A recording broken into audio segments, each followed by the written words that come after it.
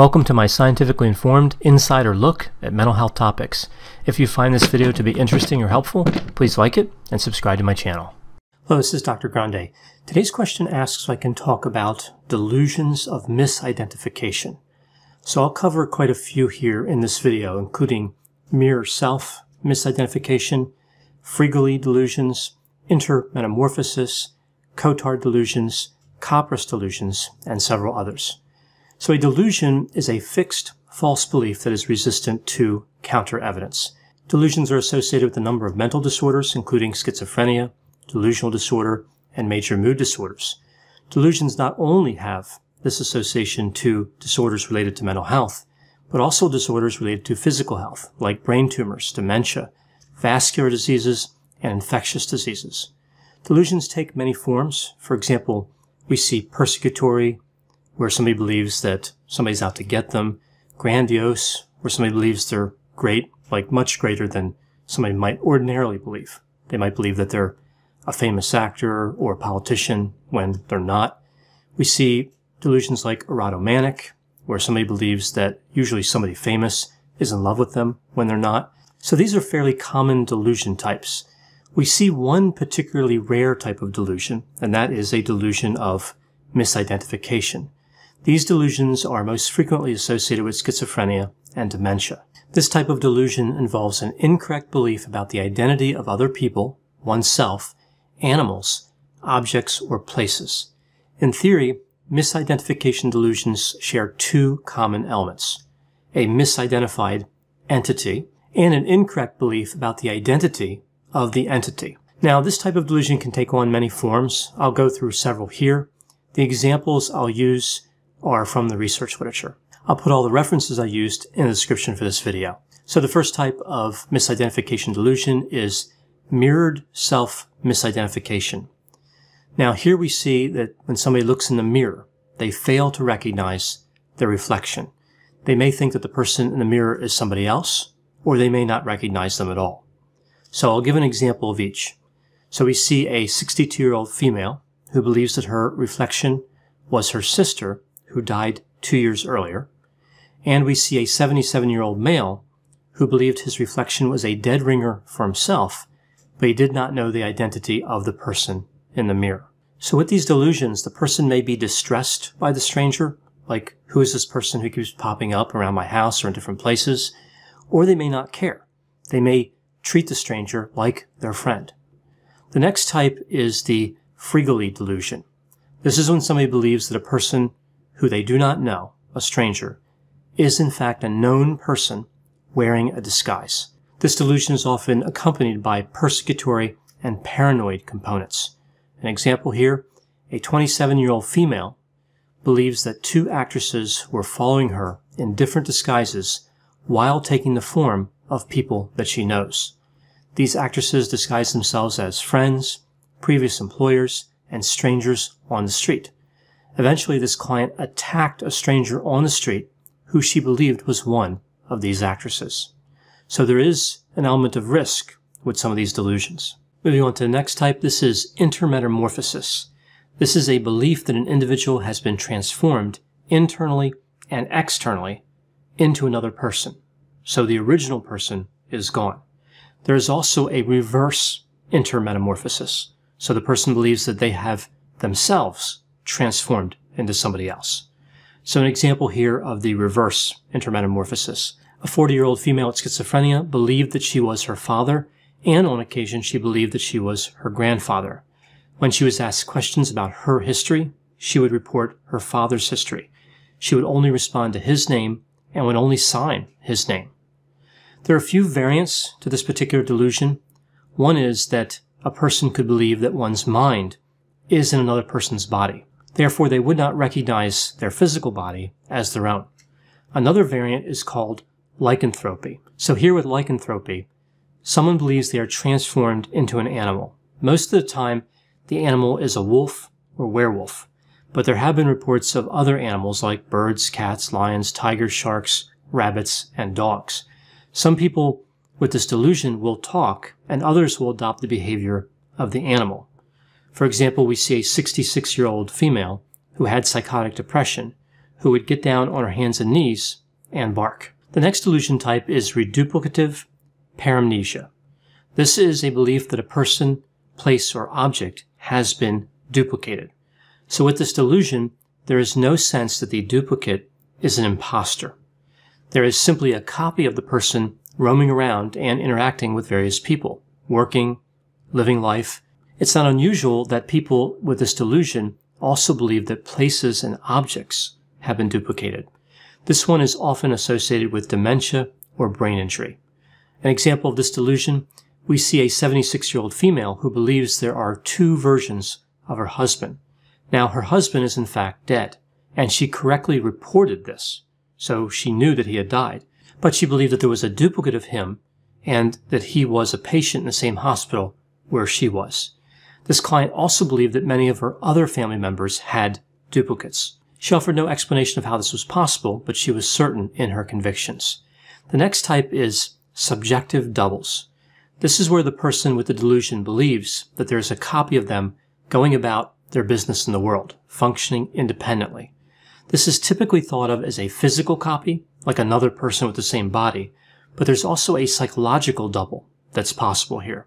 So the other person has a mind identical to the client's mind. An example of this delusion, we see an 18 year old female who believed that two other female clients and a neighbor had the ability to transform themselves into her doubles. The doubles had the same build, the same clothes, the same face, and would use a wig, a mask, and special makeup to achieve a convincing transformation. Eventually, this client attacked one of the other clients who was impersonating her.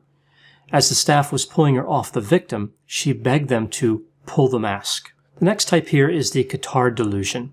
Here the person believes that they are dead or that they lack internal organs. Now this is interesting for a variety of reasons, but one reason that really stands out is this delusion doesn't actually involve misidentification. Remember, there are two components to a misidentification delusion, a misidentified entity and the incorrect belief. Here we only see the assignment of an incorrect property to a correctly identified entity. The person still knows who they are. They just believe that they're dead. Now, the next two delusions, the phantom boarder and the sex change delusion, have the same problem. They're really not delusions of misidentification, but that's how they are sometimes identified. So really, it's a bit ironic to misidentify delusions of misidentification, right? But this does happen quite a bit. So the phantom boarder delusion is when somebody believes that there are uninvited strangers living in their residence. Now with the sex change delusion, typically the way this one is expressed is we would see someone who believes that nefarious operators have changed them from female to male or male to female, like surgeons who are in a conspiracy with the person's parents. That one typically follows that pattern. The next type of delusion is the Capgras delusion. And this is actually one of the more common delusions of misidentification. This is when somebody misidentifies other people. Typically, a person with this delusion misidentifies people who are close to them. For example, we often see situations where one spouse believes that the other spouse has been taken over by an impostor. In most cases, multiple people are thought to be imposters, but somebody can have this delusion where there's only one misidentification. The incorrect identification that happens with a Capgras delusion can take two forms. The first one is referred to as misidentification. So an example here, a wife looks at her husband, somebody who in theory she's familiar with, and says that he is not her husband. She believes he's a stranger. The second is referred to as replacement. So using the same example with the wife who has the disorder and misidentifies her husband, she would believe in a number of possible identities regarding her husband. So I'll go through these. First, the replacement is an impostor. So she believes that her husband is not actually her husband, but a person who is pretending to be her husband. And this impostor knows what he's doing.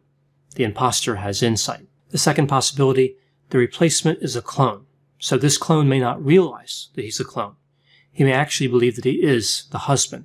So the replacement could be a victim in this whole situation. He's being tricked just like everyone else. Third possibility, the replacement is an alien and he is there to disguise the fact that the husband has been taken away by the other aliens. The fourth possibility, the replacement is a robot. This robot may or may not have bad intentions. so may or may not be aware of the fact that he is a robot. Now, there are some other possibilities as well, but these are the four common ones that we see. Imposter, clone, alien, and robot. It's not unusual in cases of the Capgras delusion that the individual who has the delusion will believe that they are noticing some small difference in the people, and this allows them to identify who the real imposters are.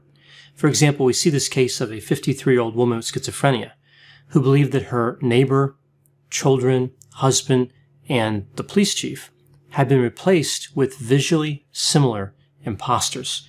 She could figure out who the imposters were because they had a thinner face, a different way of speaking, a different way of walking, and a little mark on the ear. Another interesting aspect with this delusion is that sometimes it can occur exclusively in the visual modality.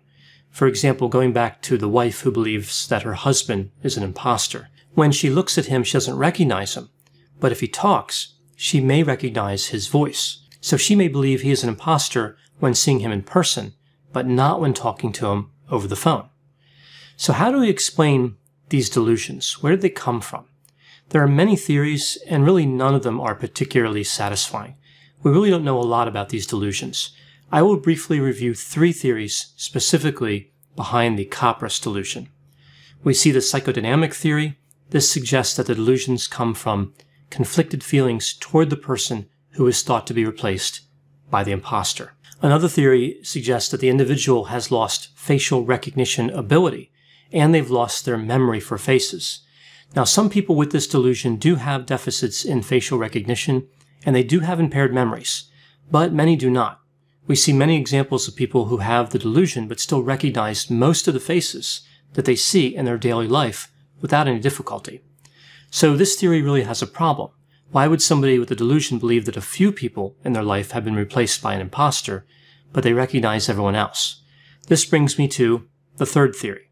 Even though visual face recognition may not be impaired, there could be a problem in the affective route to face recognition. So cognitively, somebody might be able to recognize another's face, but the emotion is not there.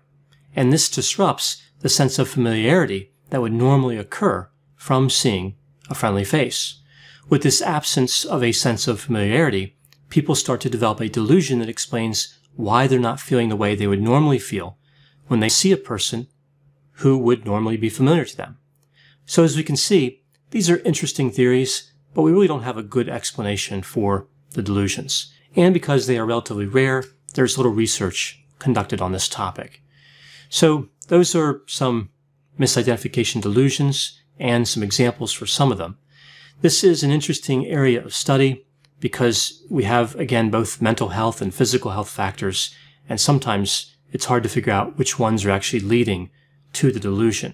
It's important to note that often when we see these delusions, there are other delusions that are present at the same time and other mental health factors could be going on, like depression, anxiety, and substance use. Now, I know when I talk about topics like misidentification delusions, there will be a variety of opinions. Please put any opinions and thoughts in the comments section. They always generate an interesting dialogue. As always, I hope you found my analysis of this topic to be interesting. Thanks for watching.